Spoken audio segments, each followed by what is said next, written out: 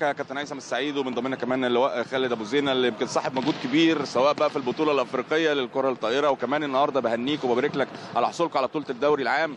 مجهود كبير الموسم ده على ما أعتقد يا سيادة اللواء حابب تقول إيه للرجالة وللجهاز الفني المميز؟ الأول آه، يعني أحب أشكر مجلس إدارة النادي الأهلي بقيادة آه، الر- الراجل القدير المحترم كابتن محمود الخطيب اللي متابعنا. آه، تاني حاجة بشكر مجلس الإدارة ونائبه الوزير العمري فاروق. بشكر آه، اللعيبة الجهاز آه، أدوا مجهود آه، آه، قوي جدا خاصة بعد فقدان ثلاث سنين آه، ل- لبطولة الدوري. استعادتها لينا لدولاب النادي الأهلي ده بيمثل أهمية كبيرة جدا لأن أنت عارف بطولة الدوري بالذات دي بيبقى لها أهمية كبيرة جدا في النادي الأهلي. فالحمد لله استطعنا أن إحنا نحصل على بطولة الدوري بعد ثلاث سنين.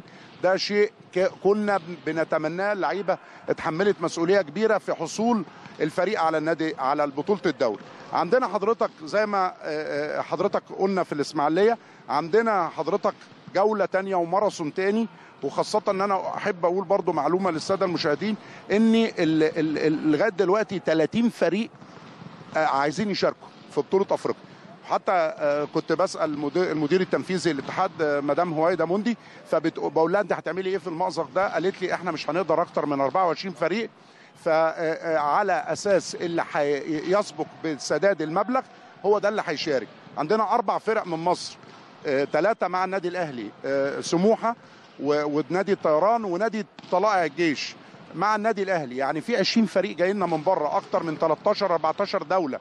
ال- البطولة آه، بتاعت افريقيا ليها شكل تاني ورونق تاني.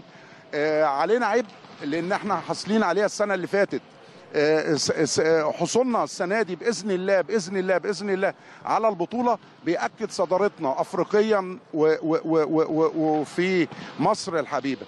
النقطة الثانية إن حضرتك آه، بتنظم بطولة أفريقيا في مصر ده بيقول الأمان مصر الأمان مصر آمنة.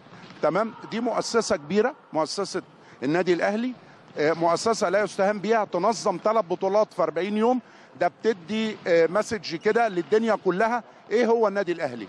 إيه هو معنى النادي الأهلي؟ النادي الأهلي قياداته ال- ال- ال- الممتازة اللي موجودة من أعضاء مجلس الإدارة المهندس آه، ال- ال- القدير محمد الجرحي وال- والمهندس آه، الأستاذ محمد الضماطي آه، مع الكابتن رؤوف عبد القادر آه، مدير النشاط الرياضي اللي اللي, اللي تعبانين مع الناس ومجهود خفي وجنود مخفي خفاي إدارة النشاط الرياضي مع الفريق. طبعا آه، أنا عايز أقول لحضرتك إحنا ما وصلنا له. ده كان مجهود عرق. آه، زي ما حضراتكم شفتوه والناس شافته اتبرمج في المباراة والمباريات السابقة. لسه عندنا ماتش ماتش الجيش إحنا بنتمنى إن إحنا نفوز على طلائع الجيش علشان نكون حصلنا على بطولة الدوري بدون بدون أي هزيمة. واخد بال حضرتك؟ وبعديها هيبقى عندنا جولة آه، في بولندا. 10 أيام. آه، البطولة آه، حضرتك بدايتها 25 آه، مارس. زي ما قلت لحضرتك الولاد البطولة دي رفعت نفسيتهم عالي جدا خدوا ثقة كبيرة جدا.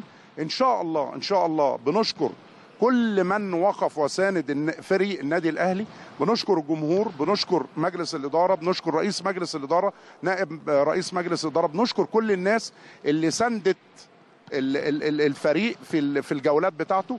بنتمنى إن شاء الله آه، لألعاب الصالات وفريق الكرة الطايرة التوفيق واستعادة المجد والرفعة في النادي الأهلي نادي اللي ما قصرش مع أي حد. تمام؟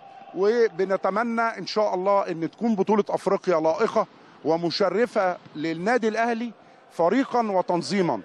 بإذن الله. ومتشكرين جدا لقناة النادي الأهلي اللي مساندانا وبنشكر حضرتك وبنشكر كل القناة اللي هي مساندانا في كل ال- الوقت ومعانا في المسيرة كلها.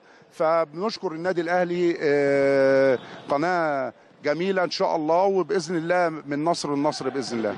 شكرا شكرا. كل الشكر والتقدير من جديد للواء خالد أبو زينة وكل نجوم فريق النادي الأهلي أعضاء مجلس الإدارة بنهنيهم ونبارك لهم طبعا على الحصول على بطولة الدوري العام. مجهود كبير زي ما بنأكد طبعا الموسم بيبقى شاق بيبقى فيه إصابات بيبقى فيه إجهادات. الأمور بتبقى صعبة جدا بالنسبة لنا لكن الحمد لله بنقدر نقول مبروك مبروك مبروك للنادي الأهلي. وزي ما بنأكد حسم البطولة قبل انتهاء بشكل رسمي ده بيعود للجهاز الفني بيعود للاعبين بيعود على مدير النشاط الرياضي كابتن رؤوف عبد القادر بيحاول إن هو يوفر ويذلل كافة الأصعب. أكيد